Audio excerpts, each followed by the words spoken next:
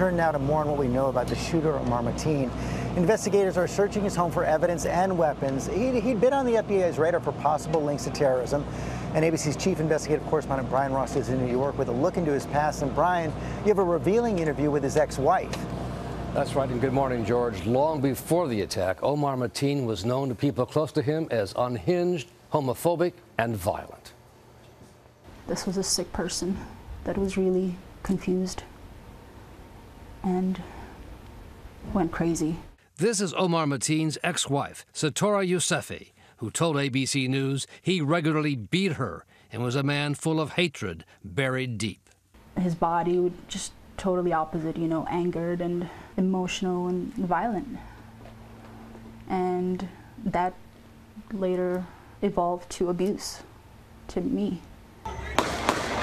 As the FBI sought clues as to what triggered the attack on the Orlando nightclub, his ex-wife said he could not stand people who were gay. He, he would express his anger towards a certain um, culture, homosexuality. He, there was definitely moments that he would express his intolerance to homosexuals.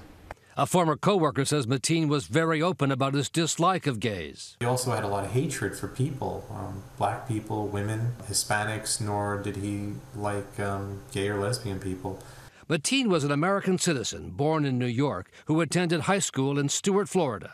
He worked as a security guard for the last nine years, posting this picture of himself wearing an NYPD t-shirt.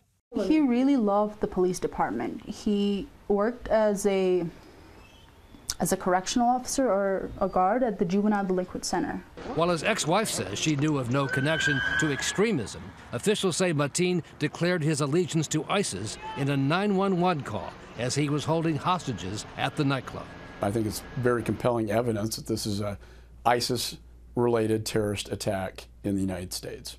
The FBI had twice investigated Mateen for possible ties to terrorism in 2013 and 2014, interviewing him three times, but concluded he was not a threat. We determined that contact was minimal and did not constitute a substantive relationship or a threat at that time. Mateen remarried a few years ago and had a three-year-old son with his second wife when he carried out his attack. Sitora says she was lucky to escape alive from her marriage to Mateen. I'm blessed to have the family that I do because they saved me from, from death. Because the FBI investigation into Mateen found no evidence of any ties to terrorism, there were no criminal charges, he was able legally to buy the two guns he used in the attack, an assault rifle and a Glock pistol purchased just last week, Amy. Uh, so many people just so puzzled by all of this. Brian, thank you.